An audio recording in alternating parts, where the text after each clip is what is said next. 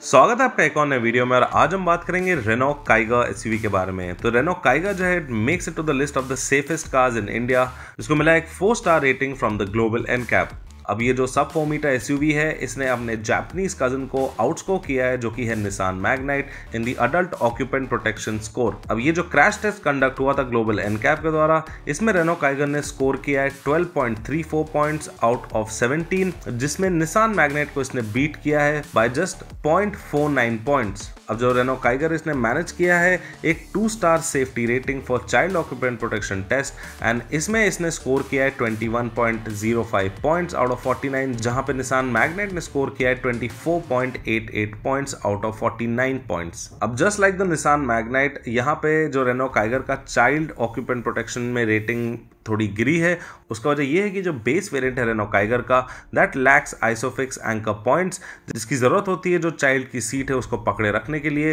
and resulting in an unwanted forward child seat movement अब जो Renault Kiger का ये एक्सेप्शनल परफॉर्मेंस हमको देखने को मिला है ग्लोबल एनकैप में, इसका हम लोग क्रेडिट दे सकते हैं इसके C M F A plus platform को, और ये प्लेटफॉर्म जो है ग्लोबल गाड़ियों को भी अंडरपिन करता है such as the Renault Triber and the Renault Kwid लेकिन इसका मतलब ये नहीं है कि जो निशान मैग्नेट है, उसने भी कम स्कोर किया है। It also got a four star safety rating for adult occupant protection by the global NCAP as for the French car manufacture Renault जो है एक ब्रांड की तरह काफ़ी सक्सेसफुल इंडियन मार्केट में एंड ये जो काइगर मॉडल है इनका, इसको month on month sales numbers हम लोग को देखने को मिल रहे हैं। Though Renault is not as aggressive as Nissan but उनकी जो एस है क्वाइट पॉपुलर है among urban buyers Renault Kiger की इंजन के बारे में बात करते हैं तो इसको मिलता है दो पेट्रोल इंजन एक पहला वाला जो इंजन है that is a one litre naturally aspirated petrol engine जो कि प्रोड्यूस करता है 72 bhp और 96 nm ऑफ़ पीक टॉक अब जो दूसरा इंजन है that is also one litre unit लेकिन ये टर्बोचार्ज यूनिट है एंड ये प्रोड्यूस करता है 98.6 bhp of power